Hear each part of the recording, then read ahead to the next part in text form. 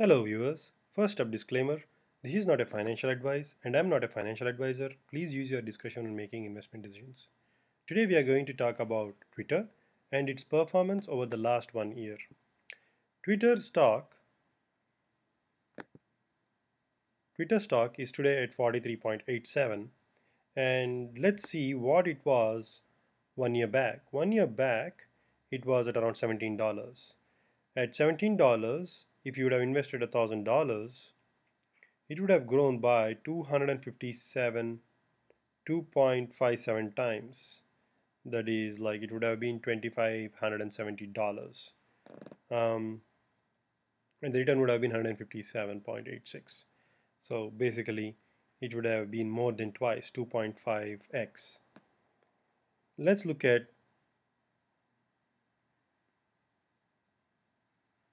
This is the 200 day moving average which is at 26 and this is at around 32 which is 50 day moving average.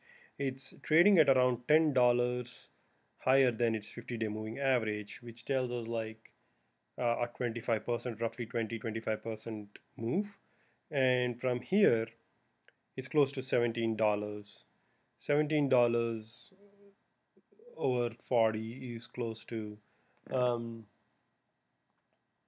45% uh, 40% uh, move. So we'll have to wait and see if it would come back and it, there will be a pullback to 32 if you see this over the last one year you see that these this is the 50 day moving average and you would see the actual prices hovering around this curve going up and then coming down and then going up and again coming down going below. So at this rate I think there's going to be a pullback and it is going to go below uh, 32 close to 33 dollars.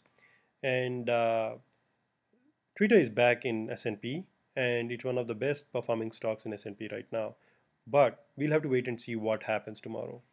Fundamentally they're burning cash. They're probably burning around five times their revenue.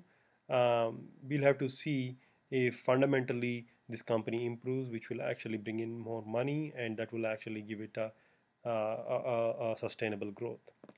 Let's take a look at what the analysts are saying about this stock. So, so most of them have said it's in April to hold. So the the average score is hold, which is 2.9, which is hold.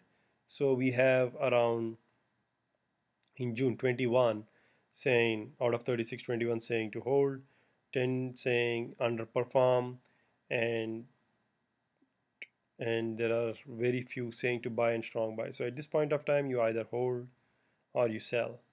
Uh, even though the sell is like very small if you are looking at the long term you would want to hold. But then fundamentally we'll have to see some changes which would actually bring in more revenue. At the same time uh, we'll also have to based on the curve that we see we'll have to see uh, if this will come back down to the 50 day moving average. That's all from me. Um, this is not a financial advice and I'm not a financial advisor. Please use your discretion when making uh, investment decisions. Thank you